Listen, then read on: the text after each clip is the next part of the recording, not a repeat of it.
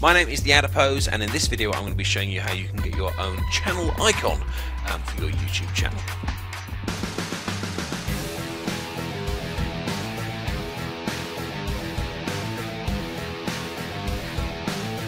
Well, greetings everyone and welcome back to my series of YouTube tutorials. In the previous video I told you all about this YouTube banner, which is this larger object here, but now I want to talk to you about this little icon um, right here. Now this is an important icon because it's used all over YouTube. Your banner only really appears if people visit your channel, but this one is going to be seen all over the place. So in some ways this one's actually more important than um, than the big one. Now how do you edit it first of all? Um, you can see there's a little pencil here.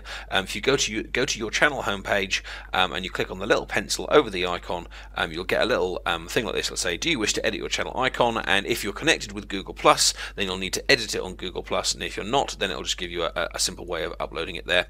But if I click um, edit it on Google Plus. Then this then pops up and it's asking me to select a photo from my computer, drag it in there, and then what you want to do is to set this as your profile photo. And then it might take a little bit of a while, but then it will eventually up, that will then update back to YouTube as well. So that's how you change it.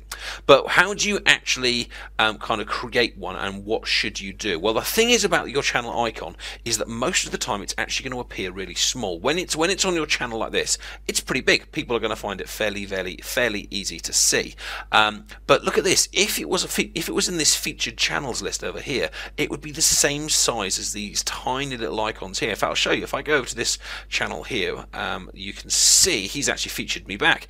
And look how small my icon is when it appears on that channel. So whatever you're going to do for this icon, it has to be very simple, very straightforward, and work in all sizes. It's also the same icon that's used when you respond to. Um, when you respond to uh, uh, messages as well. If you see here, some some oops, um, some nice people have responded to my uh, to my to my to my video. I've responded back, and look, here is the icon again in quite small. Now it also can appear actually on your um, actually on your videos as well. You, I'll show you this option in a future video. But you can choose to actually have your icon appear um, during um, videos. In fact, there, there's mine right now. I've got a transparency thing on it, but my icon is always visible. So the point is here, this icon is going to be used a lot. It needs to look good. It needs to be work um, when it is really small. Now what you need to do is, again, is like I said in the previous video, is to find yourself a photo editing program that has layers. It will make your life so much easier.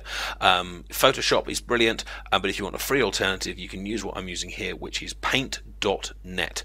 And uh, what YouTube recommends when you're doing this, um, we can find it channel icon, they recommend that you make an image that is 800 by 800 pixels, not 800 inches, not 800 centimeters, 800 pixels. So what we're going to do is we're going to file, new and when you do file new in these programs it will normally ask you then what size you want. Make sure it's set to pixels and then I'm going to put 800 by 800 and you can see I should have a nice big square. That is going to be my logo but remember it's going to be really small. So whatever I'm going to put in here needs to fill um, most of this space.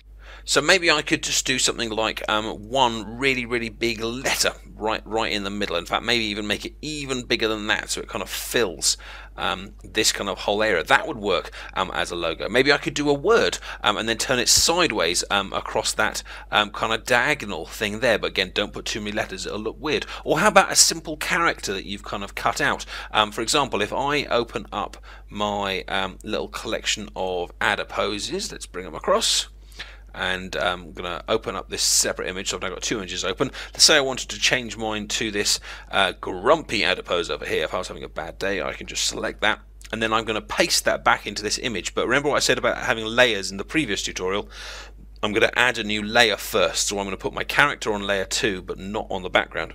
I'm going to paste him in and there he is. And then I'm going to use the resize tools here to make him fill as much of this as possible because I want this to be very very easily visible. So I'm going to put him there and I'm going to move him around here. I'm going to click back to my background layer. Let's put a nice little um, background behind him. We'll go for a simple gradient again and dunk there we are.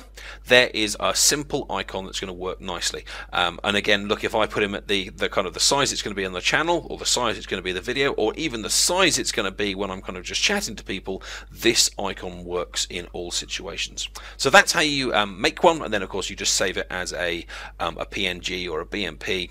And once that's done, you can then just upload that back to your YouTube channel, and you have got yourself a lovely little icon um, for you to enjoy. Any questions, stick them in the comments section below. Um, but I hope you found this mini tutorial helpful. Please give the video a like and don't forget to subscribe. Take care, and I'll see you soon. Bye bye.